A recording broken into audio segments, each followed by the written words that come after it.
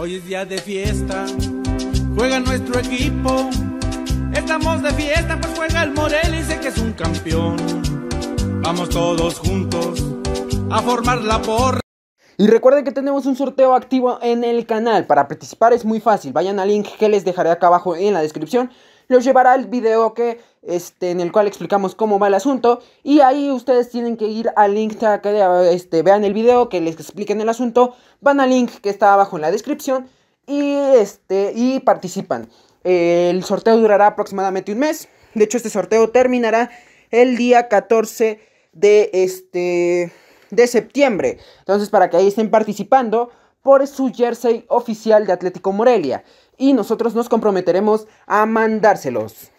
Y también los quiero invitar a que se pasen por el canal de mi amigo Planeta Game TV. Es un canal que apenas otra vez va iniciando. Eh, al principio eh, subía un tipo de contenido. Ahorita otra vez este, en un cambio estructural y demás.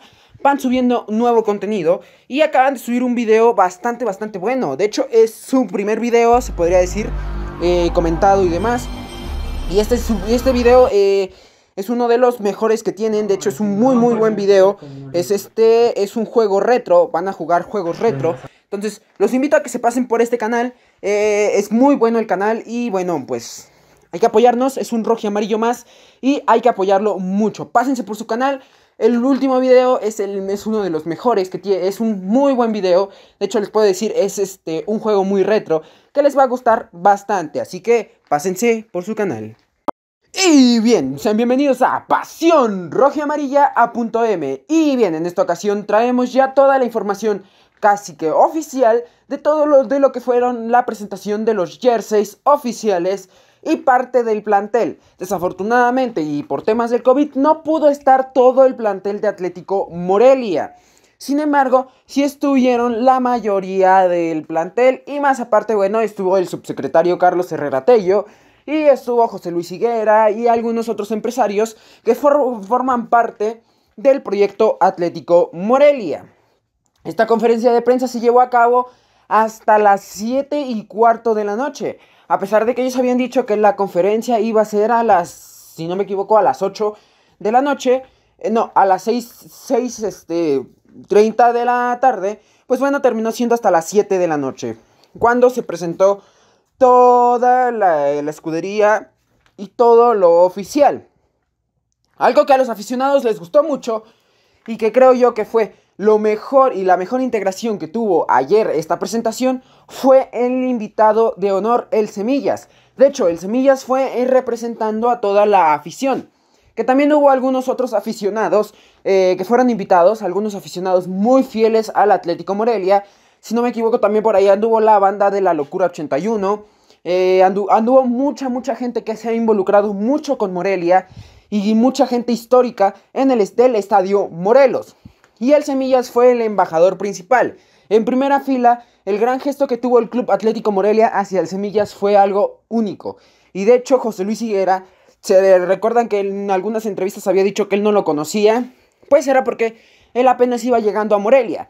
Pero ya lo conoce y el gran gesto que tuvo él y que lo invitó y que le preguntaron todas las exigencias que tiene el club y todo, hizo que hasta el Semillas llorara, de verdad, el Semillas lloró. Ahora, se presentó también al plantel. Eh, no se presentaron todos los jugadores. Eh, se presentaron eh, de mediante forma de imágenes al 100% del plantel.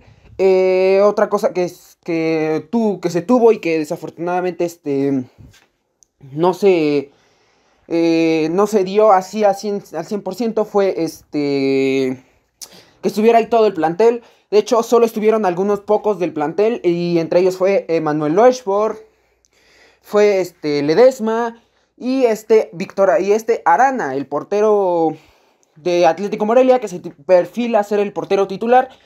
Pues bueno, ahí estuvo y Loeshford fue es el capitán del Atlético Morelia.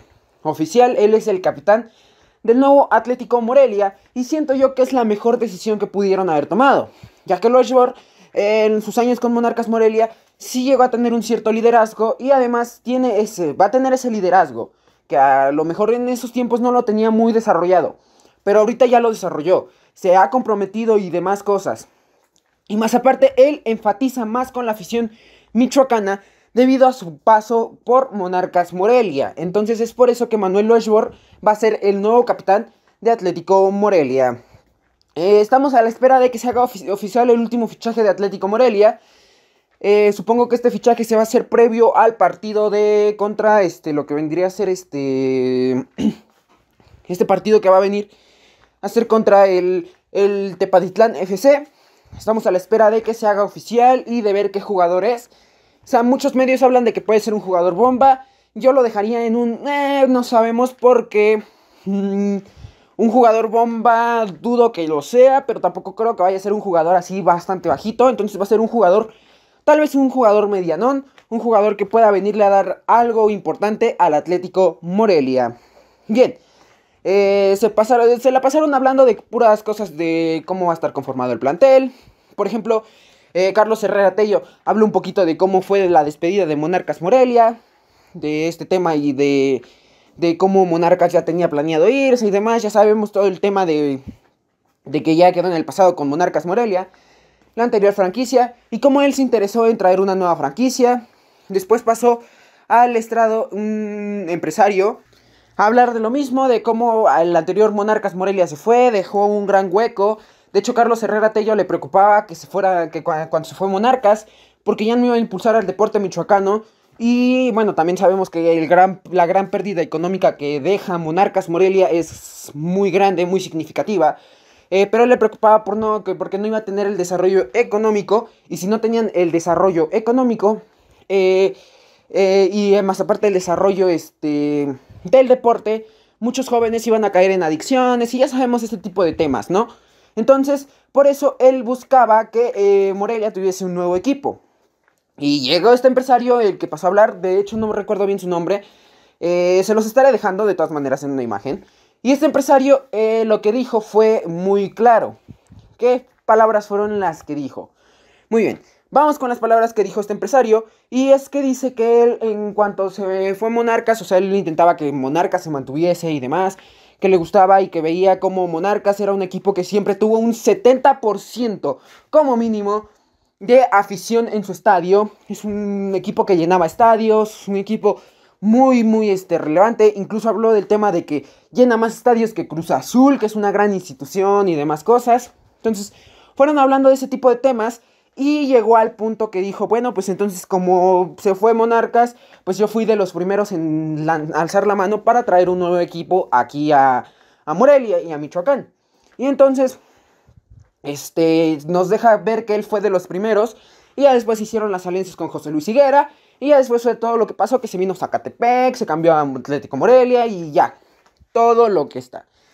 Ya después pasó José Luis Higuera a hablar y pues bueno, habló, habló de temas que ya nosotros ya teníamos nuestro conocimiento. Habló con el Semillas y le pidió al Semillas que él dijera todas las exigencias de la afición y pues él las dijo. También eh, pasaron ahí a esto, a lo que vendría a ser Víctor Arana, presidente del club, que se comprometió a que en cuanto se desbloquee el ascenso, tienen que tener un proyecto ya bien sentado, un proyecto que esté ya listo y que más aparte tengan jugadores y plantel y que ya estén todo, ya esté prácticamente que todo terminado para que Atlético Morelia pueda llegar a primera división fácilmente. Entonces, esto es algo que nos deja entrever que pues sí hay compromiso. También pasó Ricardo Baliño a hablar un poco del tema. Dijo que tiene muy buenos jugadores, jugadores con los que tal vez ya haya trabajado y que el plantel está muy bien estructurado y que él siente que con ese plantel van a poder hacer maravillas en la cancha y posiblemente van a poder este, ser de los equipos punteros en la Liga de Expansión MX. Entonces, pues prácticamente el compromiso es quedar entre los primeros cuatro lugares y, ¿por qué no, ser campeones? Ser campeones de esta nueva Liga de Expansión MX. Bien, dicho todo esto, Atlético Morelia, bueno, ya después este, presentaron los uniformes oficiales, los cuales creo yo que quedaron bastante mejor de lo que ya se habíamos, de lo que nos habían mostrado en esas supuestas filtraciones. Eh, de hecho, esas supuestas filtraciones le faltaban todos los patrocinadores que trae ahorita. Y creo que sí, la verdad es que sí, se ven bastante bonitas, bastante elegantes las camisetas del Atlético Morelia. Son unas camisetas bastante, bastante bonitas. Me gustaron. Eh, la de portero sí no me gustó tanto. Mm, la de portero es una camiseta toda verde, así medio feita. De hecho, esta camiseta es este. Se la puso Arana, que es nuestro portero, la, la araña Arana. Que fue el que se puso la, la camiseta. Y la verdad es que sí se ve medio. No, no me termina de convencer la de portero. Pero el jersey de local, de local y el jersey de visitante, eso sí me gustaron bastante. El de visitante sí se, sí se dijo, y de hecho ya ven que yo les había sacado algunas fotos y demás de filtraciones. Pues sí, es la franja eh, dividida en dos, tanto en rojo y amarillo, totalmente en blanco.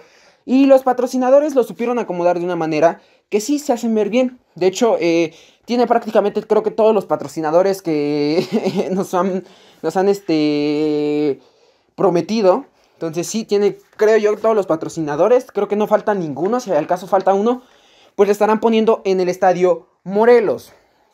Entonces, pues sí, ya está prácticamente que conformado todo lo que tiene que ver respecto a Atlético Morelia. De hecho, el estadio Morelos también ya está este, al 100% todo de Atlético Morelia. Atlético Morelia ya tiene prácticamente su estadio listo.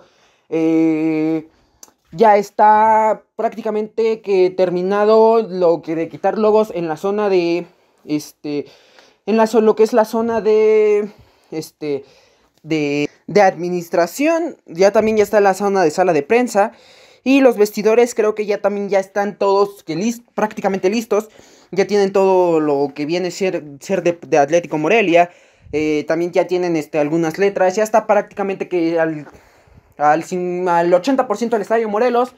Falta remover tal vez algunos logos, este, el que el pasto ya esté al 100 también. Pero poco a poquito este estadio va a ir quedando al 100%. Falta quitar algunas cabeceras, hacer... O sea, el estadio sigue en remodelación, no sabemos cuándo termine la remodelación, pero supongo que ya no tardarán mucho en terminarla para que el estadio esté al 100%. De verdad, o sea, Atlético Morelia ha sorprendido demasiado estos días. Y bueno, pues eh, para los que se pregunten, el precio oficial del jersey de Atlético Morelia. Bueno, por ahí algunos nos compartieron una imagen de este, la página de Keuka antes de que se presentara el jersey. Todas maneras, este, ya estamos aquí. Ya creo que ya está en la página de Keuka MX. Y es para dama y caballero de 750 pesos mexicanos. Eso es para este, la dama y caballero. Y es este en tallas grandes, ¿no? Eso, o sea, 750 pesos, más como 100 pesos de envío. Eh, bueno, 50 pesos de envío, que al final va a terminar saliendo como en unos 800 pesos mexicanos. La camiseta de Atlético Morelia. Ese es el precio oficial de esta camiseta. Eh, la verdad es que están bastante económicas. Pero ojo, porque para las de niño están un poquito más accesibles. El precio oficial de la camiseta de niño es de 699 pesos, prácticamente 700 pesos mexicanos, que ya con el envío saldrían en 750 pesos mexicanos. Unas camisetas bastante, bastante económicas. La verdad es que me ha gustado mucho ese tema de que estén bastante económicas las camisetas. Esto va a ser tanto para la camiseta de local como la de visitante. Entonces ya está revelado el precio, ya está revelada la camiseta. La verdad es que son diseños que sí se ven bastante bien, bastante... Yo pensé que Keuka la había cagado un poquito con los patrocinadores, pero no, hizo un perfecto y muy buen trabajo. Bien. Y pasemos ya a otras noticias de otros clubes. Ya saben que nosotros no solo le damos importancia a Atlético Morelia. Y es que, bien, el Real San José FC. Este equipo este, que va a jugar en la primera división en la Liga del Balompié Mexicano. Bueno, este, ya tiene director técnico. Y de hecho hay noticias muy importantes eh, con respecto al Real San José.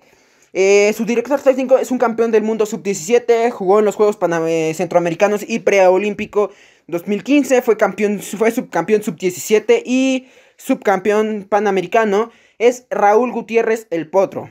Es el director técnico oficial del Real San José FC, que jugará en la primera división de la Liga del Balompié Mexicano, equipo michoacano que representa eh, el estado en esta nueva liga. Y es que este Real San José ya ganó su primer partido de pretemporada. De hecho, te voy a dar la formación titular que usaron. Eh, usaron a César Acuña, eh, Alexis Quinto, Antonio Chavarría, Marcelo Al, Torre, Jacinto Martínez, Gerardo Luébano, David Lira, eh, Wilber Echeverría, Enrique Sánchez, Benji Town, y Omar Rancheros. Esta es la alineación del eh, Real San José que envió el Real San José. Y de hecho su partido de pretemporada lo ganaron ante Venados de Amec, si no me equivoco, y ganaron 4 goles por 3. Entonces prácticamente el Real San José ya está en este tema de ir mejorando, ¿no? Y en otras cosas eh, más importantes también, es de que parece que Multimedios podría llegar a transmitirlos. Aún no se sabe quién va a transmitir a este equipo. Pero Real San José es de los equipos que ya andan ahí dándole fuerte, dándole duro. Eh, otras noticias, eh, menos, bueno que ya tal vez la vieron en algunos otros medios, por eso es que esta noticia la dejé hasta el final del video. Porque esta noticia tal vez ya la llegaron a ver en otros medios. Y es de una copa que este, el Morelia, Atlético Morelia ganó en el año 2000. Esta imagen viene procedente y gracias a la banda del Atlético Morelia. Esta, en esta imagen podemos ver que es una este, copa que es un subcampeonato que ganó Atlético Morelia. De hecho, la ganó en 1887 y bueno, está en muy malas condiciones. Esto debido a que la administración pasada no cuidaba estas copas. Entonces, bueno, dicen que la encontraron por ahí arrumbada. No saben ni siquiera en dónde la encontraron, nada de esto. Entonces, es un poquito lioso este tema, ¿no? Pero yo creo que hasta aquí la vamos a dejar. Espero que les haya gustado y recuerden que vivan su pasión roja y amarilla y nos vemos después. Hasta la siguiente.